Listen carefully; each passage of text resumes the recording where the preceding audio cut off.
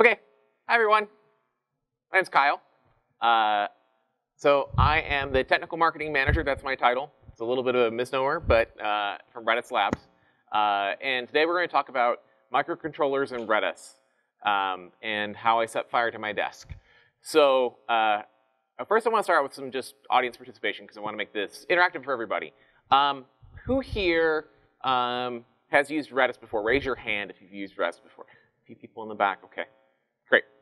Uh, who here has used Node.js before? Raise your hand. Good, okay, that's good. I don't have to explain Node. Uh, who here has developed anything, any software for a microcontroller? Raise your hand. A few people as well. Okay.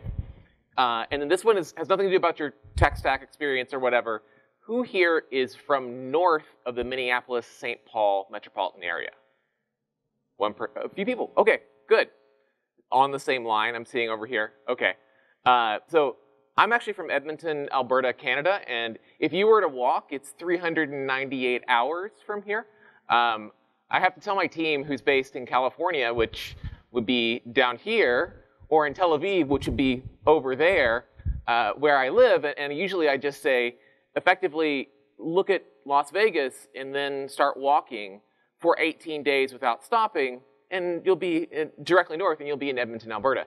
So um, I had a few questions, and so I had to add that in. Um, so this is going to be a little bit of a narrative. Uh, this is a project that has spanned jobs. It has spanned years. Um, it spanned many versions. Um, and so it's going to be a little bit of a journey uh, as we go along. So first, let's start at the beginning. A long time ago, there's no galaxies. It was Canada. Um, the CBC, uh, who's our TV and uh, radio provider, did a story about ice wine. You guys know what ice wine is? Have you had ice wine before? Raise your hand if you've had ice wine. A couple. Good, good, good. Uh, so ice wine is this. If you see it, it'll be in this one of these skinny bottles in the liquor store. It's super expensive, um, and it's grown in Canada. You don't think about Canada growing wine very often, but we're one of the best producers of ice wine in the world. This would be in Ontario, which is on the other side of Canada, but regardless. Uh, the problem with ice wine is basically what happens is it, it works on the function of freeze distillation. So what happens is you have grapes on the tree, and then they freeze, and at a very specific point before they hard freeze, they have to be picked. So the reason it's in these skinny bottles is because they actually have to pick it at a very precise temperature.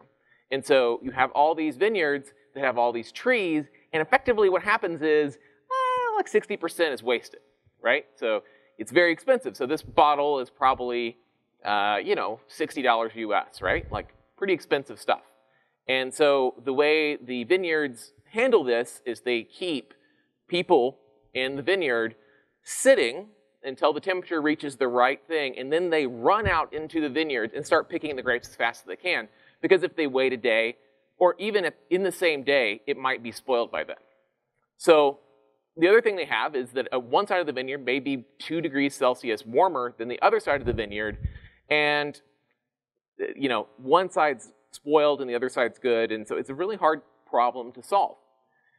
And so, you know, I'm a person who's a problem solver naturally, and I had been working with Redis, uh, and I had been working with a microcontroller for another project that I was working on, and I said, hmm, I wonder if I could combine these two disparate projects I'm working on to solve a problem that no one has actually commissioned me to solve. And then it got into my head. Um, and so I started down this road of trying to put Redis, which is a high performance in-memory database, um, and interface it onto a microcontroller in a way that it could read temperature. And so uh, one of the in-progress goals is this guy, um, which we'll talk about a little bit later, and I'll show you some kind of fun Mr. Wizard things that'll go on with it. Um, so that's how it all began. But before I go on, I should talk about Redis. Uh, Redis Labs is my employer. So the next few slides will be our kind of standard marketing deck, but they're useful for this presentation. Um, so a couple things. Redis is a high-performance in-memory database platform um, with um, operational analytics and hybrid use cases. Uh, Redis Labs is the uh, home of Redis. We pay the creator of Redis the creator, Redis Labs did not exist to create Redis. It's kind of a weird story, but he's our employee now and one of our stockholders.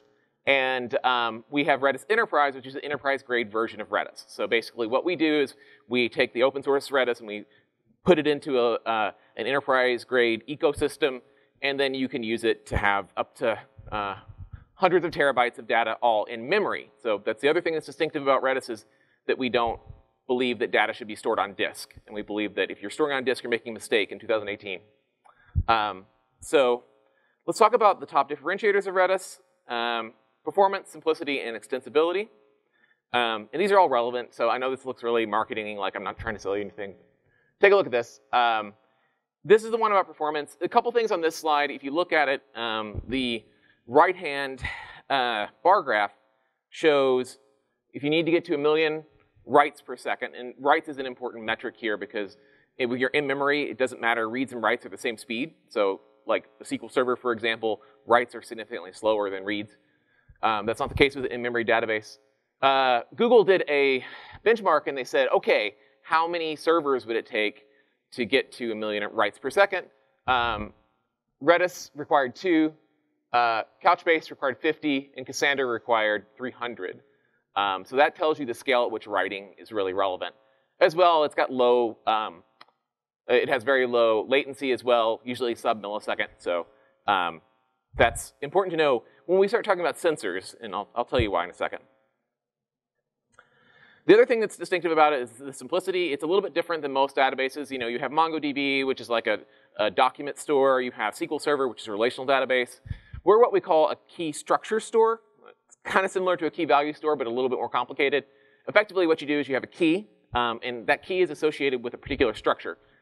Structures you're probably familiar with, linked lists is our list structure hash maps, something you've probably seen before. Um, bitmaps, that's kind of just like a blob.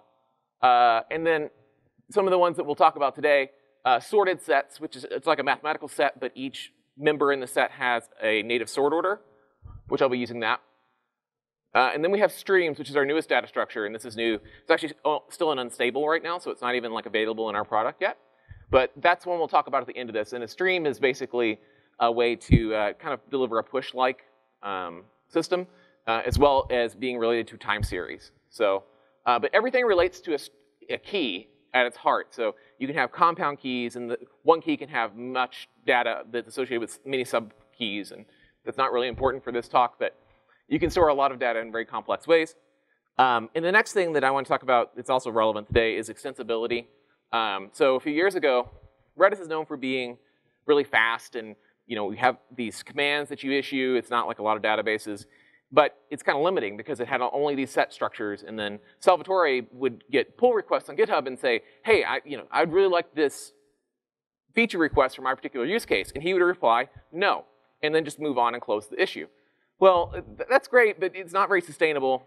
And so what they did is they created a module system, and the module system can actually allow you to create your own data structures in any systems language, you know, C, C++, Rust. Other ones are possible, but that's the ones that people have built modules for right now. Um, so you can basically create any type of structure you want, and it makes it a multi-model database.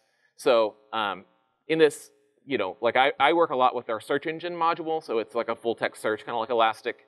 Um, but there's also a graph module and time series and all sorts of other things like that. Um, and those are all built in the module system which we'll talk about later as well. So uh, that's Redis, and then we'll talk about um, a microcontroller. Now, uh, what I want to talk about first is what a microcontroller is and what it is not. Um, so a microcontroller is basically a system on a chip. Um, it lacks a true operating system. Uh, it doesn't have a screen interface. It doesn't have a keyboard. The CPU is maximized for interfacing other things. Controller is the key word. Um, so unlike a lot of things that are general purpose, this is designed to have a lot of inputs and outputs. It's low power. Usually these are designed to run um, in some way that can reduce its uh, consumption of power down to microamperes. Um, it has very low capability intentionally, um, and uh, it's really, really cheap. So the thing that you have to realize is that you're every, in your everyday life, you're surrounded by microcontrollers, right? So you use your microwave, You ever wonder how it does all that stuff? That's a, micro, a microcontroller that you put in how many seconds it's going to be there. Uh, I one time tried to count up the number of microcontrollers in my house, and I just said, this is impossible. You know, my um, like my little Nest um, thermostat, microcontroller. Um, you know, in my furnace itself, microcontroller. Like all these different things have microcontrollers, and they're everywhere uh, because they're so cheap and ubiquitous. But then I also want to talk about what a microcontroller is not, because I think this is where people get confused. Um, it's not a Raspberry Pi. Um, that's what a lot of people think about when they think of IoT uh, or other single board computer. In fact, those are quite different. Those are just small computers, right? A microcontroller is a distinct entity. Um, a microcontroller does not have Linux on it. Um, in, in, fact, that's a very purposeful distinction. Um, and, and, having Linux on a machine, um, while we think of our servers, and we talk, we're now we're having lots of conversations with containers, you know, pets versus you know farm animals and all that stuff. Um, having Linux machines in, in an IoT situation is a really bad idea uh, because when was the last time you updated your microwave? Like you would not really want to do that. So a microcontroller being simpler is a better idea for that. Um, they're usually designed for general purpose computing, so they have things like a graphics system for you know actually displaying something on HDMI, um, and uh, they're actually quite high performance compared to a microcontroller. We'll get into the specs of the one that I'm using right now, but you know, uh, uh Raspberry Pi is pretty much equivalent to a computer five years ago that you would pay $1,000 for. Um, this is equivalent to a computer you would probably have bought in 1984, so quite different. And a microcontroller, excuse me, a uh, single board computer uh, is usually expensive. Um, microcontrollers are, are not. And to give you an idea of expense, I mean, like a Raspberry Pi, what, 30 bucks? You have the, the single little like uh, Pi Zero for 10 or $15, depending how you get it. Uh, these are usually about $1 or sub $1. So there's a big difference here. To give you some examples of microcontrollers, the, the one most people would end up knowing is the Arduino. Um, this is the Arduino Uno. Uh, another common one, this is used in a lot of serious projects, the STM32, which is based on um, an ARM-based system. The Arduino is an 8-bit AVR microcontroller, so it's, it's a very low capability machine. Uh, the STM32 is a 32-bit ARM microcontroller, um, ARM, excuse me, ARM Cortex. Um, the other one is the Parallax propeller. This grew out of the basic stamp system that Parallax created in the um, late 90s. This is actually an interesting microcontroller. It's got, I think, eight parallel processors in it uh, that are very low power, so you can kind of like turn it up as you go along. So there's some uses for that, but not for everybody. Um, then we have the ESP8266, which is the one we'll primarily be talking about today.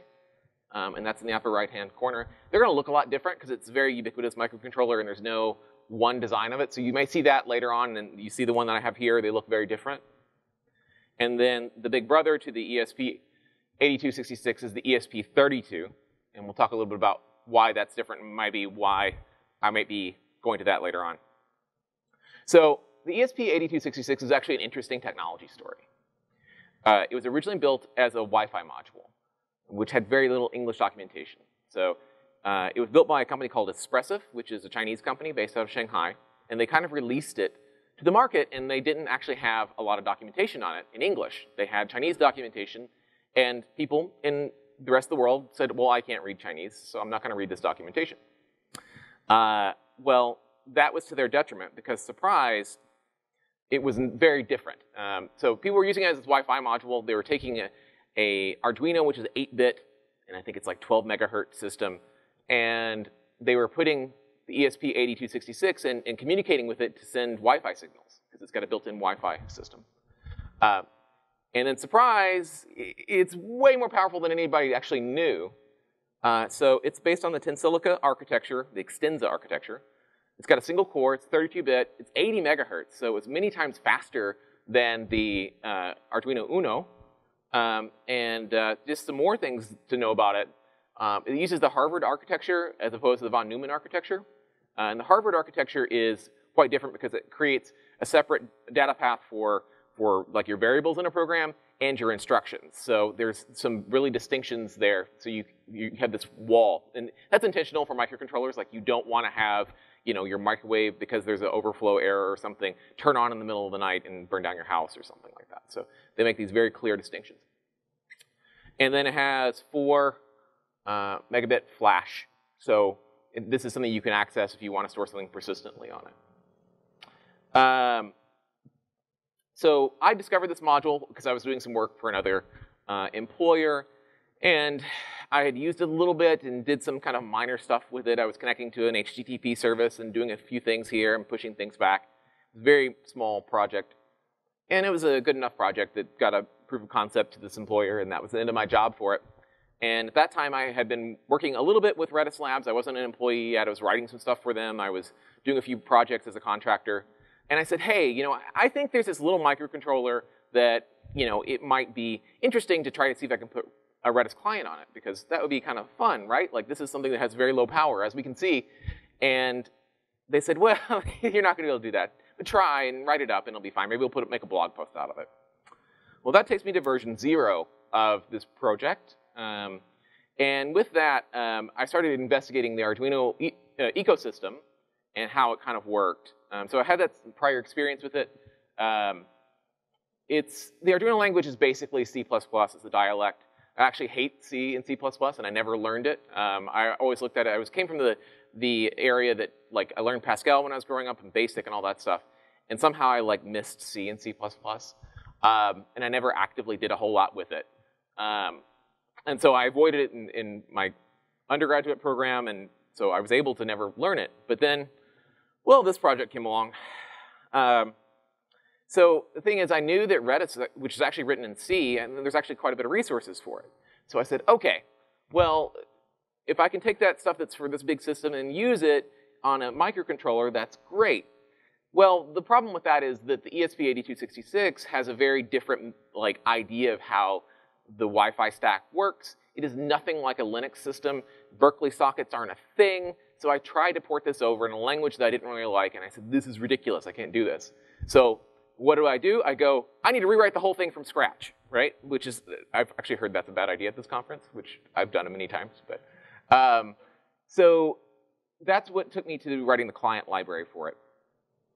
Um, so as we go on, let's take a look at what the protocol that I had to implement, what it looks like, okay? So um, it's called RESP. It's a Redis Serialization Protocol. It's a request response format that keeps a persistent connection open. Um, so basically it has control characters in the first uh, item on a line, effectively. So simple strings are prefixed with a plus. Uh, errors have a minus. Integers have a colon. Bulk strings, which are for really big blobs, have a dollar sign. And then you can, you can implement arrays, which have an asterisk. And then everything is basically the control plus the size of the data coming in, and then a line, uh, character return and a line feed. And that's how it works, right? So it's not terrible. It's pretty simple. Um, so this is the way it looks if you have OK. Uh, an error message would look like this. Integers look like this. So you can see it's actually just, the integers are represent, represented as just the numbers themselves. Uh, bulk strings look like this. You can see, if you can see foobar has six characters, so we have the, the six right here, and then because we're doing this, we're, we're using a character return there and then we have character return at the end, so you can see how that works. Um, and then arrays, this is how you start getting things. And the thing is, everything is effectively an array in Redis when you start looking at things. So you end up with a string like that, which represents both the request and the response in Redis. So you want to send a command, then you would say, okay, my command is the first part of the array, and then I have these arguments on top of it. And then, then the client library would mostly do this. Um, so uh, my experience previously, though, is I actually am a maintainer of the Node Redis project, which is the client library for Node.js. And uh, so I had a lot of things with it. Really great, elegant parser that some colleagues of mine wrote, and um, I maintain. Um, it looks like this. So you want to get a value, foobar, and then you have the callback for it. It's pretty basic stuff, and you do stuff with it. But it's this nice system that you can really compose some really interesting um, and easy to use stuff with it. Um, one function call per Redis call, so you have this alignment to it. It has full type support. It will go in and you, you push in an object and it will do some nice things to it. Um, so it, it does these idiomatic conversions between JavaScript and, and the Redis world. And then you go into Arduino. Um, because of constraints, you can barely implement a, a serializer and deserializer. Um, command support, there's a 100 and some odd commands in Redis. So I don't have the room on a small, you know, I'm talking about 32 kilobytes to implement everything in. I don't have the room to have a function for every one of them. So I have to kind of bring it out. So I have to say, okay, first I want to create a situation where I want to create a command, which is called resp init. And then you add, for example, if I'm trying to do this get I would add two things. I would add the first thing, which is getting. The second thing is the value I want to get, so I'm getting the at the key foobar. And then I would send, and then I would ask for the return on it. Um, so I'd have to do five commands, effectively, to do the same thing I would do on the other side for just a single command. And uh, because, so Arduino has this concept of a string, quote unquote. Um, so it's not really a C string, it's their own kind of object. It's based in C++. So everything kind of came out as a string. I was doing no type conversions in it, nothing, right? Just, this is the idea here is to make it as minimal as possible.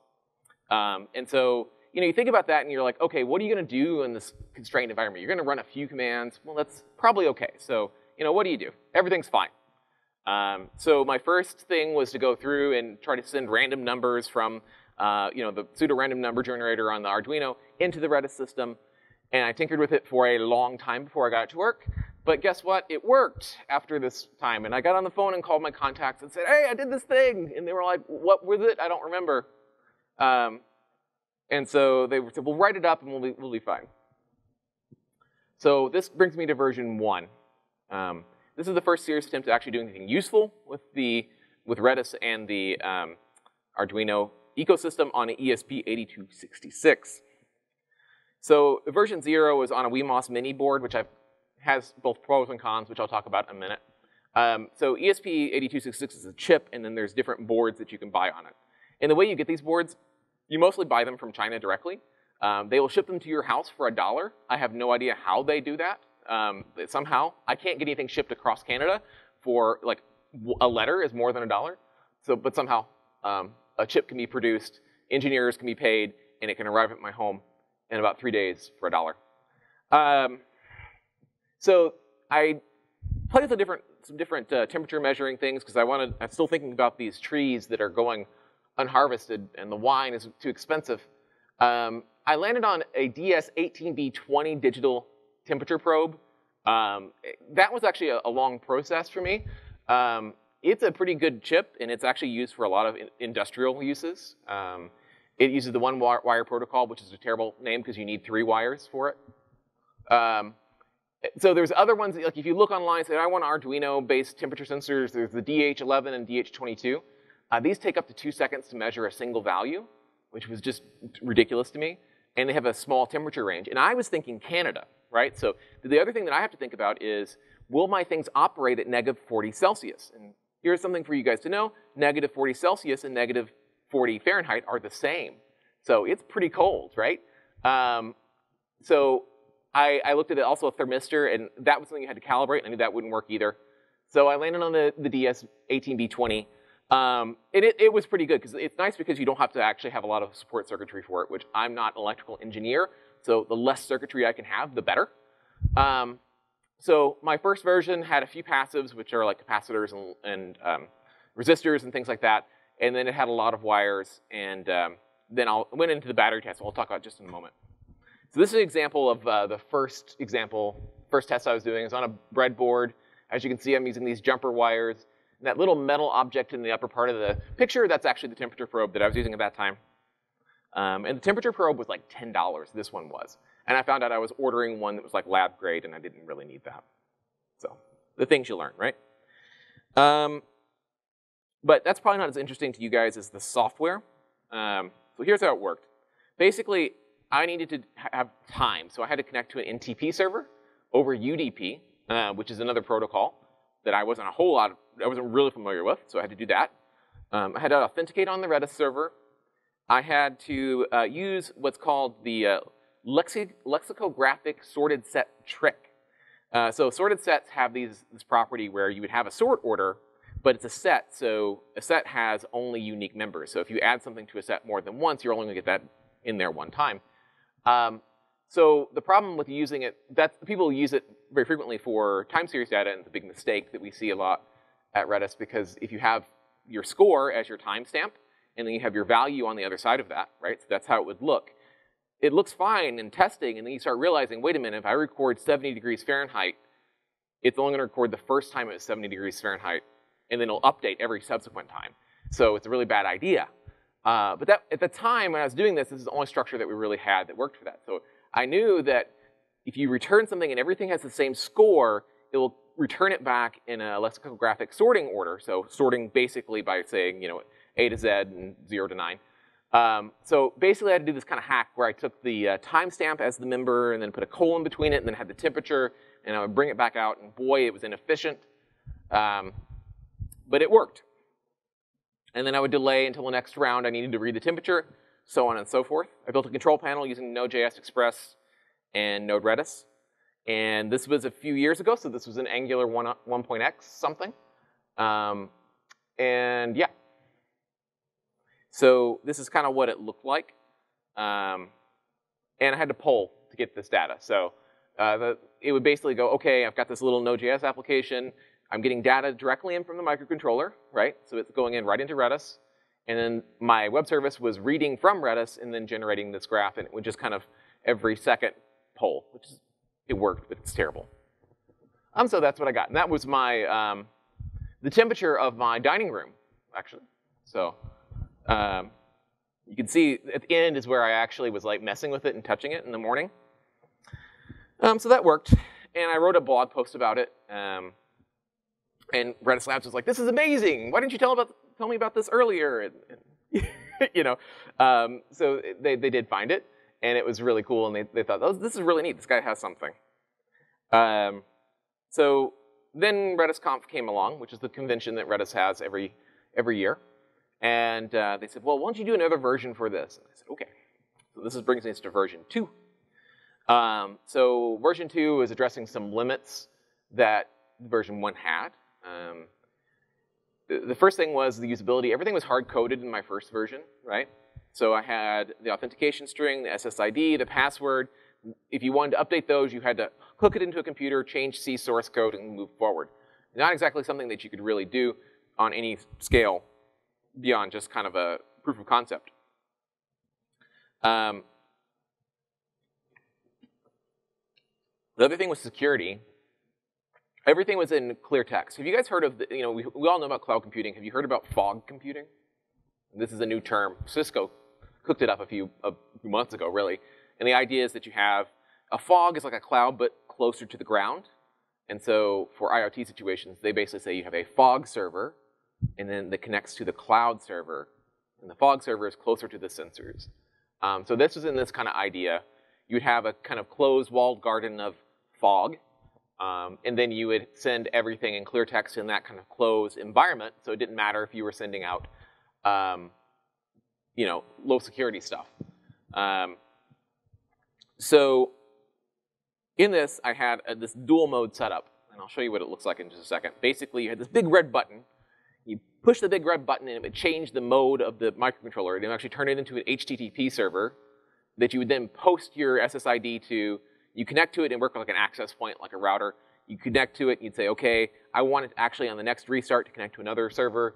Um, it had an inbuilt serial number, and then I used that to actually connect to an external service and get half of the authentication from here and half of the authentication from there, and then you could go in and get the Redis authentication string. And um, I had to do that to get the to connect to the remote server. I had to do some rudimentary TLS on it. Um, so SSL was something that I didn't think would be a challenge. We don't think about it as being a challenge working on big systems, but SSL actually requires quite a bit of mathematics, and um, a dollar microcontroller is not up to the task at all. Um, so that's what I built, and, and, I'll show you how it ended up looking. This was the rat nest of wires that I created in the second time. Um, so this is the big red button on the right side, on the right side of the screen here, or I guess left side of the screen. Um, so you you push that in, reset the microcontroller, uh, and then it would put it into a different mode, it'd flash different colors, so on and so forth. Uh, you would write to the internal flash memory, so it would persist from time to time, from time restarts. Um, and then you would reset it again and be back in sensor mode, and then you'd be good to go. And so that's how that works. I use actually AWS Lambda for that, um, and API Gateway. Um, and then it, um, everything else was pretty much the same it was, it was previously. You had NTP to get the timestamp that you would use, and the, the command was for a sorted set as zadd. Um, and it was admittedly really complicated. However, after I presented this, I got a job with Redis Labs. Um, so it was pretty successful. I, I, achieved a goal that didn't really, uh, I didn't set out to do, but I'm really happy that I built this. Um, and then what happened is they actually took this and one of my colleagues now in France, he like does this demonstration all over the world. So it's kind of cool to actually see that someone else take this. And, and I was on a trip to Tel Aviv and I was sitting in this room and this person was presenting this thing that I started on a lark because I heard a radio show uh, on Canadian radio. So it's kind of like the power of open source, right? Like you do one thing and it causes waves throughout. Um, so the other thing is I want to talk about um, where it is now. And this is the, the V3 of this. Uh, in V3, I went to simplify things and make many improvements. Um, and I'll show you some more interesting things how I, I change things around. And that's what you have in front of you. So I, I kind of walled things off up here but this is V3 or the prototype for V3. Um, and it's currently running. Everything I have right now is running because you know, like, there's no screen on this, right? So I couldn't log into the conference Wi-Fi. That's a little hard when you have no screen or keyboard. Um, so I'm like tethered to my phone right now, but for the demo that I'll show in a second. Um, okay, so the one thing I want to talk about is I had that expensive temperature probe. I got actually I found a modular, modular uh, temperature probe that's much cheaper. Um, I started looking at, this is the ESP8266. Um, they now came out with the next version, the ESP32, which addresses many of the problems. Because it's a single core processor, um, you have effectively like these big pauses where it has to maintain the HTT, the Wi-Fi stack. Um, so there's, with a dual core processor in the ESP32, there's none of those pauses. Um, I'm working right now on the deep sleep bridge. So effectively right now, this, this is attached to a lithium ion battery, uh, which at this time, I will tell you that the biggest challenge I've had is actually finding a battery that'll work in Canadian winters. Um, so there's a tweet that I was looking at just a few weeks ago where I was, uh, I, I, kept on putting the microcontroller in the freezer because it was no longer cold enough outside to test. Um, so I have really good Wi-Fi reception in my freezer, um, which is, hey, good to know. Um, the, uh, so the battery is a big, big problem, and, and so I have, I've explored things. I've used this type of battery, which is a, um, it's like a USB charger that has uh, alkaline batteries in it. And alkaline batteries actually, if you, I started going down this rabbit hole of exploring like, okay, which batteries perform under which temperature conditions and, and all this stuff. An alkaline battery should be good. However, the ESP requires 3.3 volts and you can't really get 3.3 volts evenly out of batteries, so then you have to have a temperature or a, a, voltage converter, and the voltage converters have a, you know, a constant current draw, and there's this, it's a it's way beyond what I ever thought I'd think about batteries. Uh, lithium ions will, will stop at about, uh, they'll stop at about um, negative 10 Celsius. So they don't work very well either. And they don't actually work very well under this load. So I, you know, everybody loves lithium ion batteries, but it's a poor match for this type of um, situation. Um, so you have a deep sleep bridge that I'm working on right now where basically it will turn the microprocessor off uh, for a certain amount of time and it'll draw uh, picoamperes. Um, so it'll get that, you know, almost no current while it's off, and then I can awake it, and then has to go through. It doesn't save any state or anything like that, so you have to go back through and authenticate and do all that stuff. Um, so that requires a little extra engineering to bridge some, some very small contacts on top of the, the processor. Uh, but the software is where things have really changed. So the software, one thing I've done is I moved away from sorted sets. Um, because of this lexicographic sorting, it doesn't really work that well takes up a lot of, for what you're storing, uh, you know, I was looking at the number of, every, um, the number of bytes required is ridiculous, and we really think a lot about bytes at Redis because memory is expensive. Um, so I was looking at storing temperature. You know, temperature is pretty small value, you know, 20 degrees, um, 21 degrees, that sort of thing. Uh, and I was end up doing like 128 bits per item minimum, and it just wasn't it wasn't very efficient for storing such a small amount of things. So what I've moved to is streams. Uh, it's one of our new data structures. And that actually has an integrated timestamp in it, so I can actually avoid having to have a real-time clock or connecting to NT, NTP to get the, the time, the coordinated time. Um, so streams are really, really cool because they'll also wait for things. So as you'll see in the example, because now I'm streaming from this, this is sending out data, and then I have a server over here that's a streamed server. Um, it's, it's automatic, so I'm not doing that polling thing anymore. And I'm working on avoiding the complicated uh, authentication flow by using Redis Enterprise, which actually has a built-in um, TLS authentication system. So it, it, can decode TLS, and you also are authenticated with that signed key, effectively. Um, so when you look at this, it's really, I'm, I'm trying to like simplify it, make it actually good, so somebody could take this and actually deploy it an IoT product if they were so interested in, do, in doing so. Um, and then the other thing I did was dynamic sampling, so now I can go in and, and change the sampling at, at, a whim. So I can say, oh, I want it every 500 milliseconds, oh, I want it every uh, two minutes or something along those lines. Um, so let's take a look at the demo real quick. So I'm gonna switch this over real quick. You might have noticed I've got like two beverages up here. I'm not drinking these. They're actually part of the demo. Um,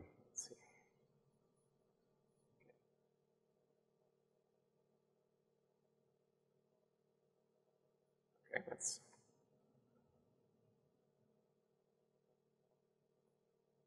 the screen's like kind of in the middle here, so.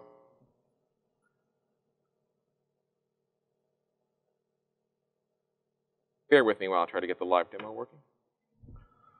Um, it's like Chrome is locked up. That's fun. Yeah, okay. Get a new window and try it again.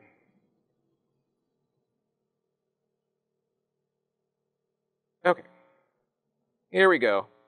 Okay, so this is a live demo of everything working. Um, so as we can see here, every time this little red light blinks, we're getting a sample of the temperature. It's being sent over Wi-Fi by the ESP module, which is underneath this carrier board. And then you can see it up there. We have a pretty consistent temperature right now. Um, it, this is just where we started showing the, the, sample. I'm actually recording much more data here. Um, if you see, I might get a little bit of a bump here. You can see it rising because of my body temperature. I'm touching the sensor. Um, then let's take the ice water. Let's hope there's not condensation on it. Should keep on going down. Fairly sensitive, but this is more of just a conduction uh, time that it takes to respond to it. Um, and I've tested this down to negative 20. It works pretty good. The only thing that it doesn't do very well is huge temperature swings. Uh, I think that has to do more with condensation than anything. Um, let's take this hot coffee and see what happens here. It should make it start spiking and it gets more samples. Cooled down significantly.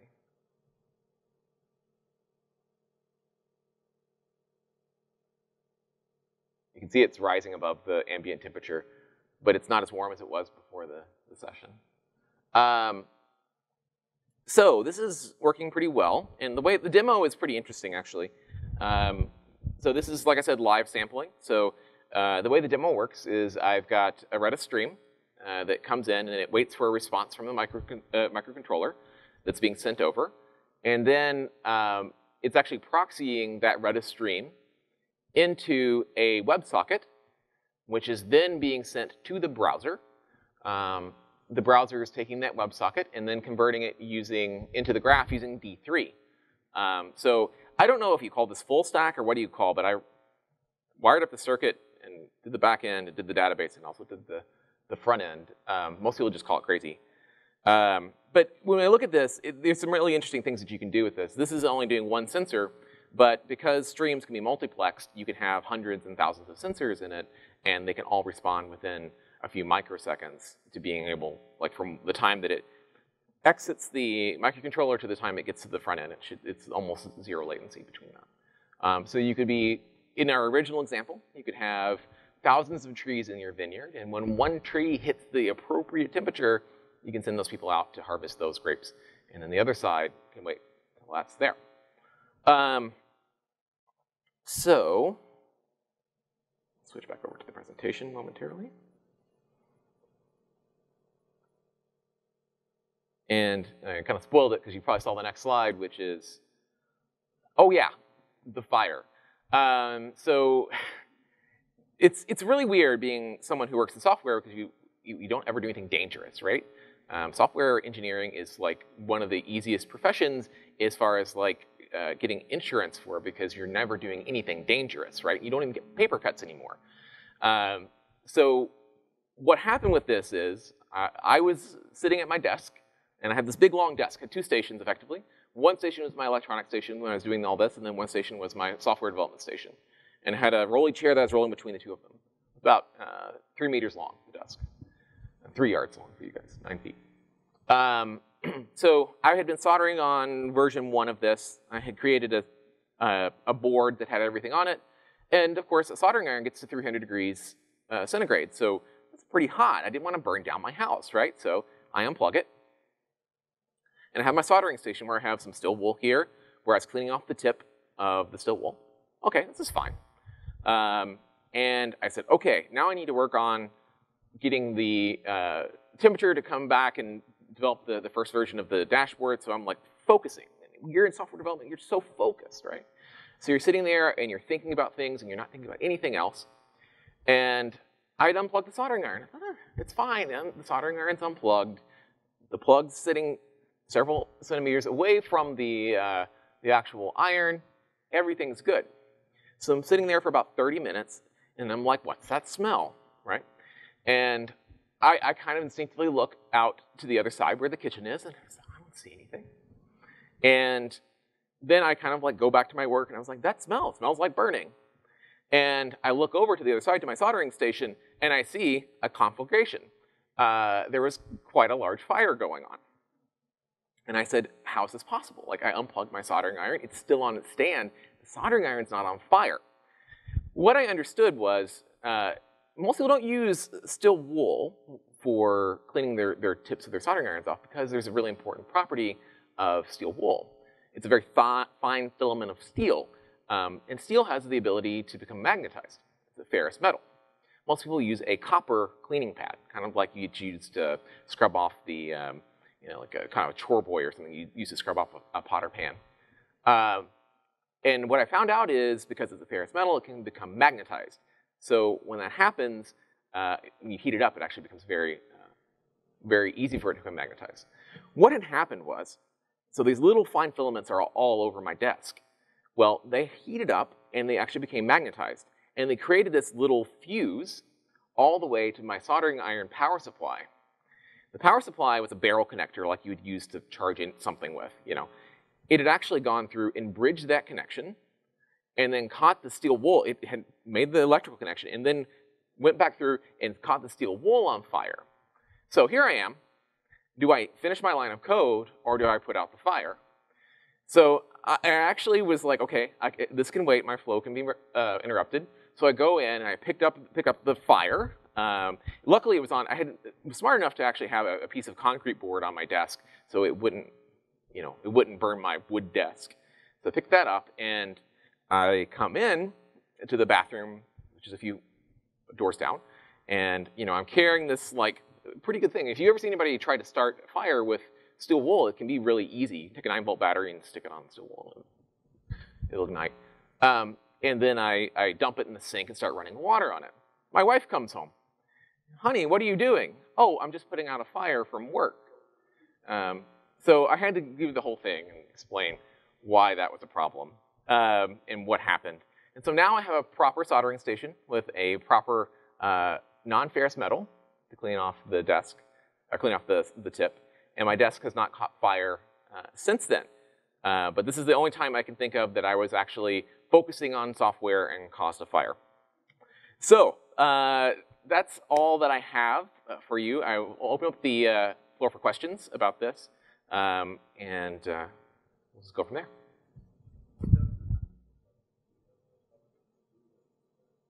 Just measuring the ambient temperature, yeah. that's all you'd have to really do. This is really good for measuring ambient temperature. Um, so it's, it's great for that. Um, they make waterproof varieties as well that you could do all sorts of different things with. They're very expensive, and I didn't realize that I could get this solo. Um, but it, like you said, if we flip back over, um, if we look, this is going to have some, um, it's going to have some variance in it because you're actually limited by the pixels, but it's down to, um, you know, three decimal places of accuracy.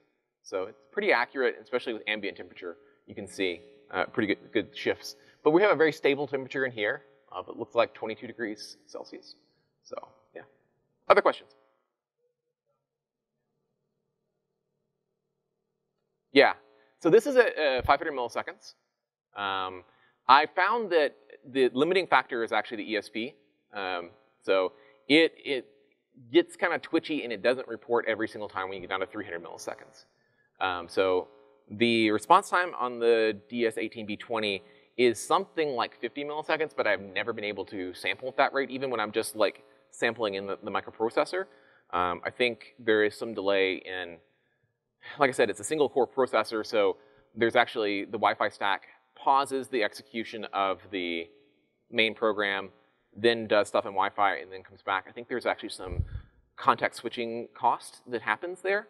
Uh, and I said that it doesn't have an OS on it. It actually uses RTOS, which is real-time operating system, uh, which is more equivalent to like a BIOS than, than in an operating system that we, there's no like command line or anything like that. So, yeah. Other questions? Okay.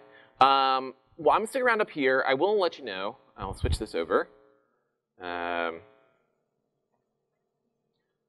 all the source code is available if you want to start messing around with this. Um, it's available here uh, ndc-redis-esp8266 at bit.ly.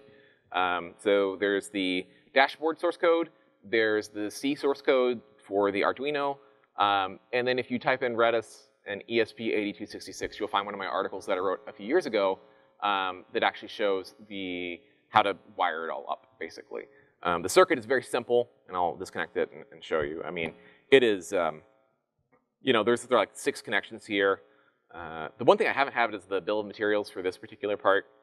Uh, this was the, the thing that really made this version possible, because this has the onboard um, passives on it, so it makes it really easy.